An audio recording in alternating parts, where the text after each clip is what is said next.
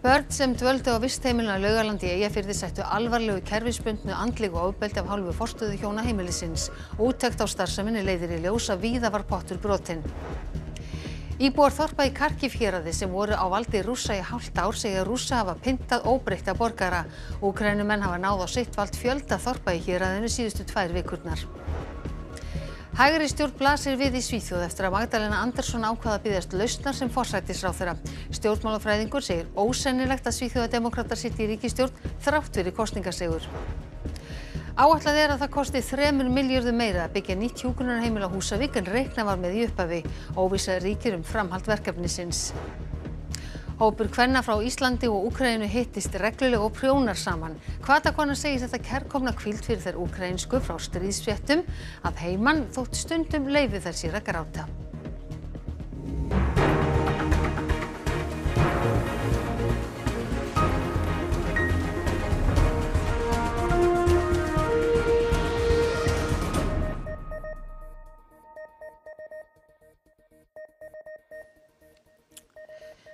Komið þið sæl. Úttekt á starfsemi vistheimilisins Laugalands í Eyjafirða árunum 1997 til 2007 leiðir ljós alvarlegt og kerfisbundið ofbeldi og ámælisverðan skort á faglegu starfi.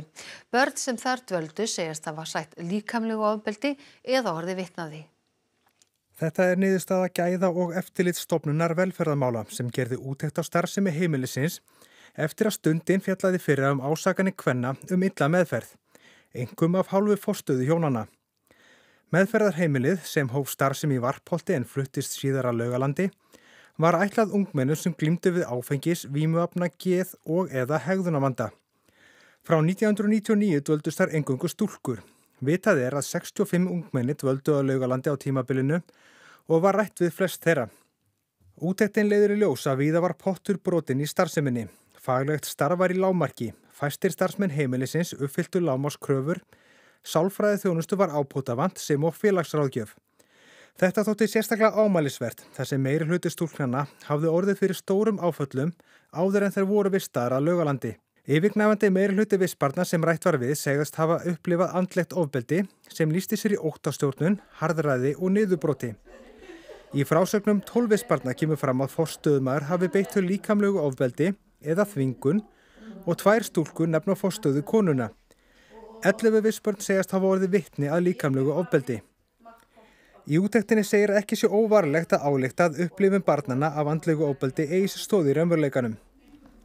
Fórstöðu hjónin hafna því að líkamlegu eða kerfismöndnu ofbeldi hafi verið beitt. Í einu tilviki viðukenni fórstöðumar að hafa gengið á langt. Hins vegar hafi skapast aðstæðir þar sem nöðsulegt var að halda barni til að stoppa ofbeldisfulla eða sjálfskaðandi hegðun. Starfsfólk sem ættar við kannast ekki við að ofbeldi hafi verið beitt. Og í fréttum okkar klukkan tíu í kvöld þá verður rætt um skýsluna við konur sem dvöldu á lögarlandi. En þá að öðrum. Íbúar þorpar sem úkrænumenn hafa frelsað úr höndum rúsa segja þeirra við flúið nokkuð skindilega en fram að því beitt afar illri meðferð. Lík hafa fundist sem sína merki um pyntingar. Úkrænumenn hófu gagsókn í Karkív hér að því í lok ágúst en þá höfðu rússar verið með stóran hluta þess á valdi sínu í hálft ár. Það hefur borið árangur og svæðið sem úkrænumenn hafa endurheimt er nú mun stærra. Виявляються залишки окупантів, диверсійних груп, затримуються колаборанти, повертається повна безпека. Ástandið er þó að var slæmt víða í héræðinu. Örvænting íbúana í einu hinna frelsuðu þorpa, Bala Klía, lindi sér ekki þegar komið var þangað með hjálpargögn. Сынок, сынок, дай, я с палкой.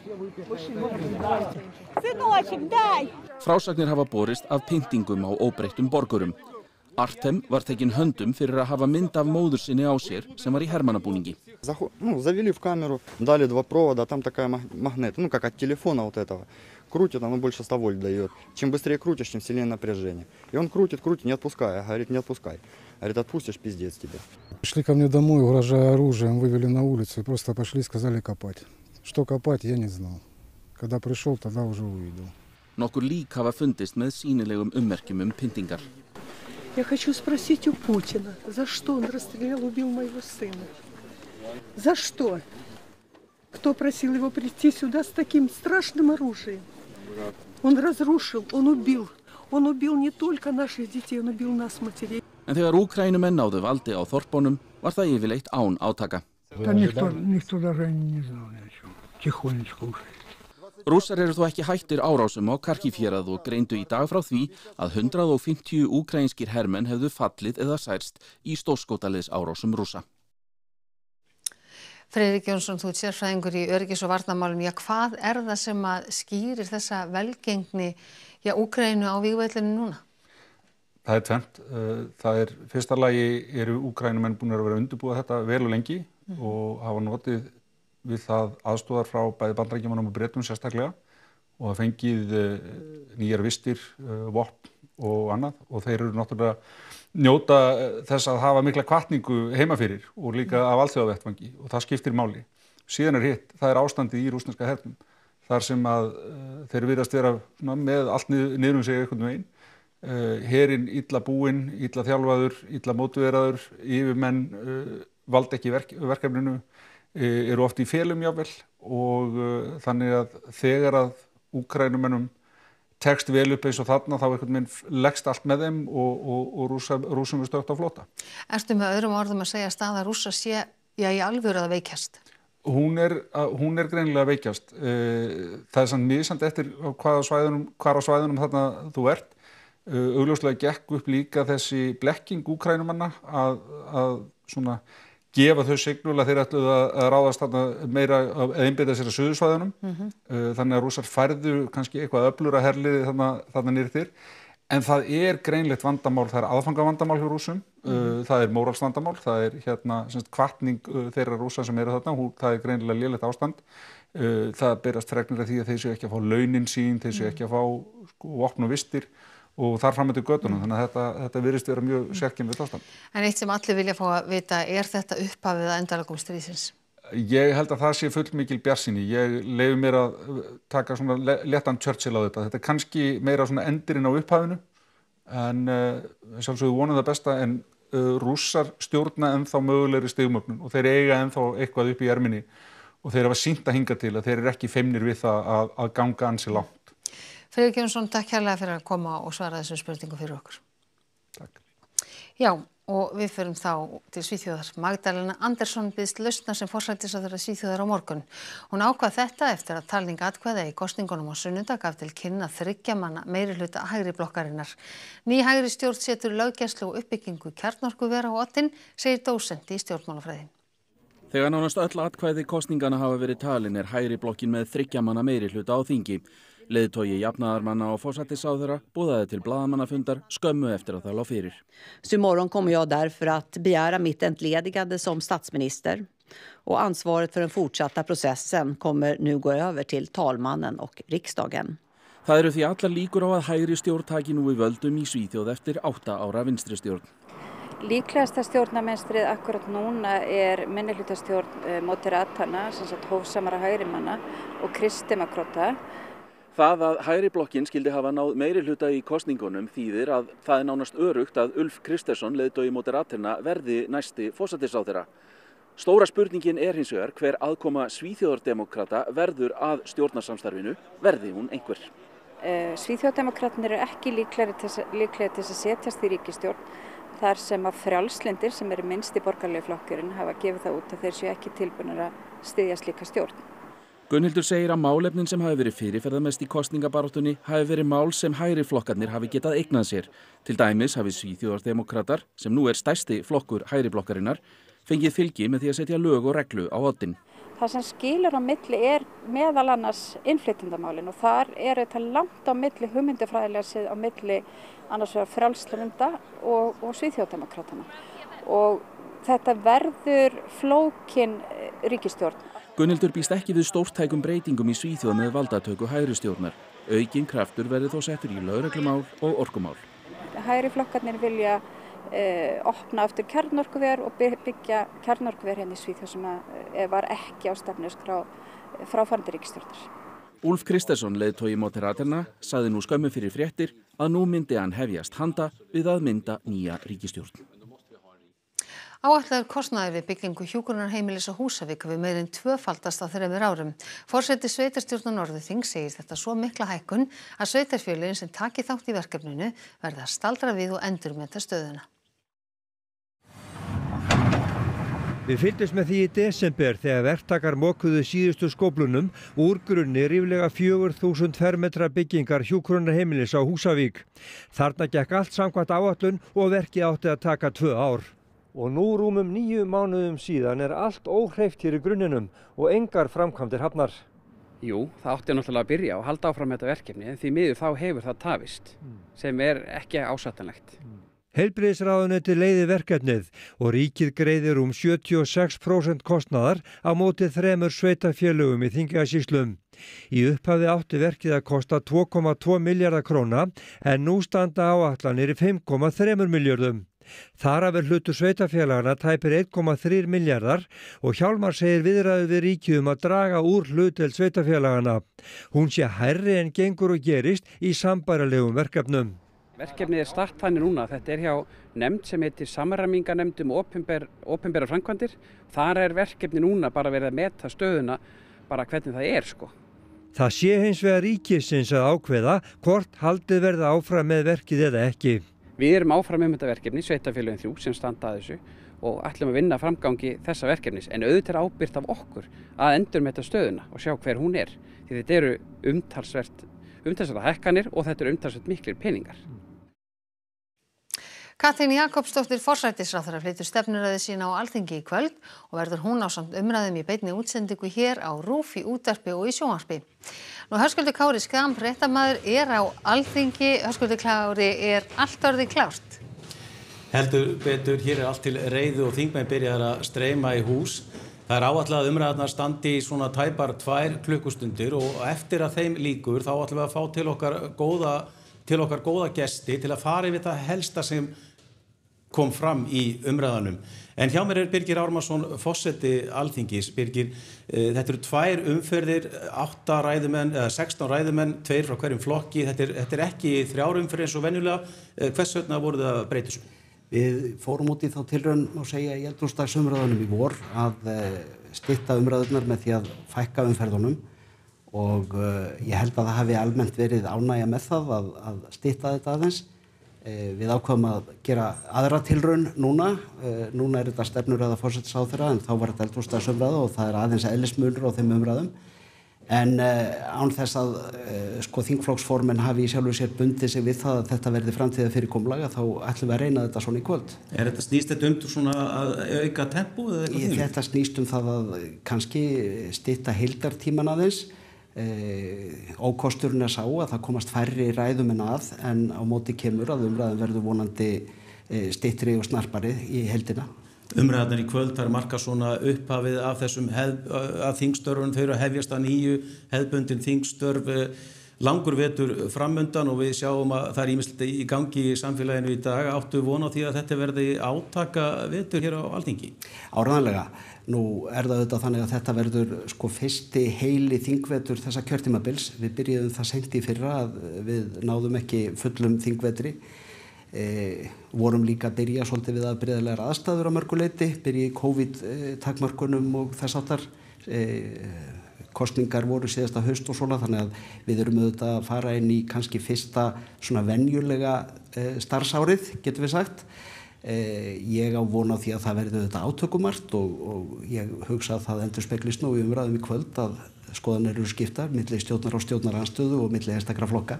Eins og að búast. eins og við erum að búast en ég hef hins vegar fulla trú á því að störfin verði eh, góð og árangursvík í vettur Takk hérlega fyrir þetta Birgir. Við minnum að lokum á útsendinguna sem hefst eftir tæpar 20 mínútur eða svo hér strax á eftir íþróttum og veðri. Jóhanna Takk fyrir þetta, höskuldur Kári Skram og við fylgjumst með frá klukkan 19.35. En við stúum okkur aðru. Sér að Gunnar Sigur Jónsson hefur verið settur af sem sóknarprestur í Digranes prestakalli og hyggst biskup veita honum skriflega ámenningum. Sér að Gunnar var sendur í leifi frá störfum í fyrra eftir að hann var sakaður um kynferðislega áreitni. Sérst að teimi þjóðkirkjuna rannsakaði ásakanirnar og komst að þeirri nýðurstöðu að í tíu tilvikum hefði hann orðið uppíst á ósæmilegri hegðun sem ekki samanrýmdi starfi sóknarprests. Það er mat heimisins að í tveimur tilvikum hafi sér að Gunnar orðið uppíst á orðbundin í kynferðislegri áreitni gagvart tveimur einstaklingum og í þrýgang að orðbundinni kynbundinni áreitning gagvart tveimur einstaklingum. Samkvæmt heimildum fréttastofu er sér að Gunnar enni ráðningarsambandi við þjóðkirkjuna en biskup íhugi framtíð hans í starfi. Heilbrigðisstarfsmenn glíma margir við andlega vanlíðan eftir að alvarleg atvik verða í umönnun sjúklinga og hrökklast sumir úr starfi. Formaður Sam Evrópsk starfshóps segir mikilvægt að styðja við heilbrigðisstarfsfólk, breynt sé að skella ekki skuldin á manneskjuna, heldur sé vandin kerfislegur. 63 alvarleg óvænt atvik urði heilbreyðstjónustu hér á landi í fyrra, samkvæmt tölum á vef landlæknis embættisins og er það mesti fjöldi frá árinu 2016. Þar sem afer ári hafa 30 tilkynningar borist. Þó svo atvikin eða mistökin séu sjúklingnum og aðstandendum þungbarust, þá hafa þau líka áhrif á heilbreyð starfsfólki sem að málinu kemur. Við erum fyrst og fremst manneskjur og svo erum við starfsfólk og að verða aðili af því að eitthvað hræðilegt kemur fyrir aðra mannesku, það veldur að sjálfsögðu mikill vanlíðan hjá öllum. Nokkrir íslenskir fulltrúar eiga sæti í sam-evróskum starfshópi sem skoðar áhrif alvarlegra atvik á heilbreyði starfsfólk. Formar hópsin segir atvikin oftast verða þegar saman fara mannleg og kerfisleg mistök. It's not uh, only uh, an individual problem. Behind this emotional reaction is a change in a clinical attitude, also in the capacity to make decisions and also to care other patients. So we need to build an uh, safety environment for professionals and for patients to obtain better results. Alvarlega atveg geta haft mjög viðtæk áhrif á uh, líðansdagsmanna. Það er mjög algengt að fólk upplifi uh, mikið ágengum minningum eða hugsunum, uh, streitu, kvíða, reyði í einn garð, samviskupitt, sektakent, sjálfsásökun, sveppvanda, og valdi því að fólk rökklist úr starfi, hættir, veist, fer að gera eitthvað annað og það verið mjög ítrekkað mikið af heilbæðistarsfólki verið að minnast á það í svona ymsum, á ymsum vettvangi. Það er algjört líkil atriði að það sé stutt við starfsfólk líka. Kista Elisabethar Englandsdrottninga var í dag flutt með líkfylg frá Buckingham Höll. Þúsundur fylgdist með þegar kistan var flutt í elsta hluta vestminsterhallar í miðborg Lunduna. Karl, þriðji breytakonungur sískina hans og sinir fylgdu kistunni. Rauðklætir hermenn líku útfararmars Beethovens og klukkur Big Ben slóu á hverri mínútu á meðan fylkingin gekk fram hjá þjertskipuðum hópi sirkinda. Kista drottningar kvíli nú að viðhafnar börum og almenningur getur vottað drottningunni virðingu sína í hinsta sinn fram á mánudagsmorgun. Búist er við að hundruð þúsunda komi og fólk hefur verið varað við að orðið alltaf 8 kílómetra löng. Oft velti lítil þúva þungur hlassi, svo varð raunin þegar Íslensk kona fekk það hugmynd að færa úkrænskum konum gard til að prjóna úr og stuðla samverustundum íslenskra og úkrænskra kvenna. Nú er meðal annars verið að prjóna sokka fyrir hermen í Úkrænu. Hópur kvenna kemur saman vikulega og prjónar og þó tungumálinn séu ólík gengur starfið og samveran vel. Ég byrjaði að hjálpa einni konu, svo sá ég allar hinnar hafði ekkert að gera. Þannig að ég leitaði til handafinnahópa á Facebook, fekk gafn hjá þeim, svo bara vald boltinn og svo hefur hann bara alltaf áfram og þetta er bara orðið svona. Fullt af fyrirtækjum og konum sem að hafa styrt okkur. Þannig að það er eina aðferðin sem að við höfum til að láta þetta ganga. Það er bara hleið, svo er Google Translate, svo erum við með tólk sem heitir Elena, hún er læknir og vinnur í bítibúri. Því hún fær ekki vinnur sem læknir á Íslandi en hún er frábær tólkur. Prjónaverkefnin er af ýmsu tægi en verkefnið sem unnið er að núna á að ylja úkrænskum hermönnum. Óleana Artsjefska sem vann sem sóttvarnalæknir í heimalandi sínu segir þetta framtak að koma saman og prjóna hafa fært úkrænsku konunum hugaró. Really about uh, Ukrainian cooked Ukrainian soup like master class.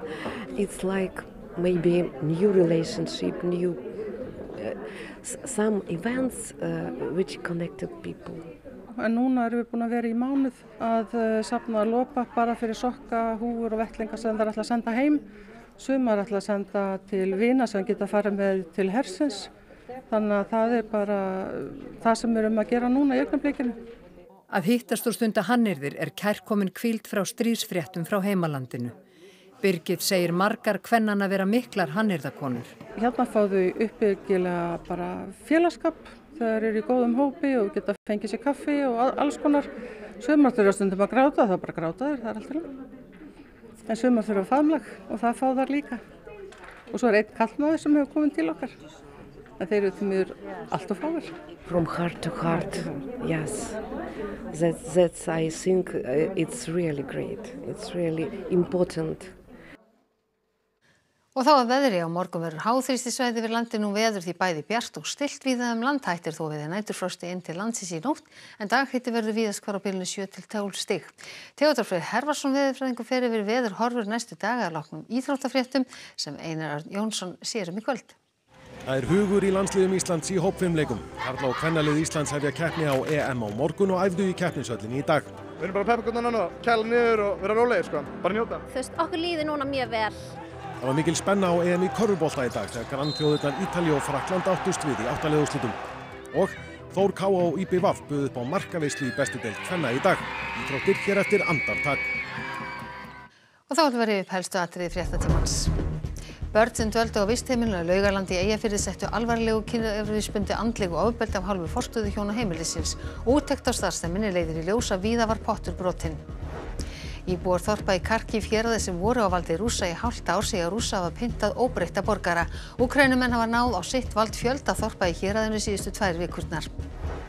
Hægri stjórn blasir við í Svíþjóð eftir að Magdalena Andersson ákvaða að byggðast lausna sem forsættisráþura. Stjórnmálafræðingur segir ósennilegt að Svíþjóðademokrata sitji í ríkistjórn þráttur í kostningasigur. Áætlega er að það kosti 3 miljardum meira að byggja nýtt hjúkunarheimil á Húsavík en reiknaða með í upphafi. Óvissa ríkir um framhald verkefnisins. Þessum fréttatími er að ljúka og nú er komið að íþróttum og veðri. Það er ekkert kastlust vegna þess að klukka 19.35 hefst bein útsending okkar frá stefnuröði forsættisráþur á alþingi og umræðum um hana. Næstu fréttir í útvarp og sjónvarpi klukkan 10 í kvöld en við segjum þetta gott að sinni. Verðið sæl.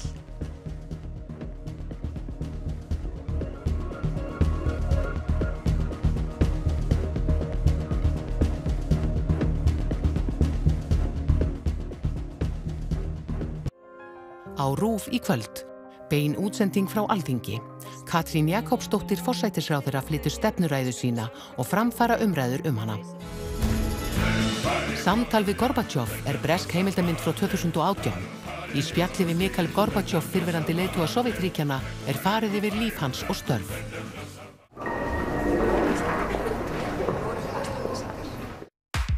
Það er opið allan sólarlingin í Hagkaup skeifunni og Hagkaup Garðabæi. Hagkaup. Meira opið. Alla daga.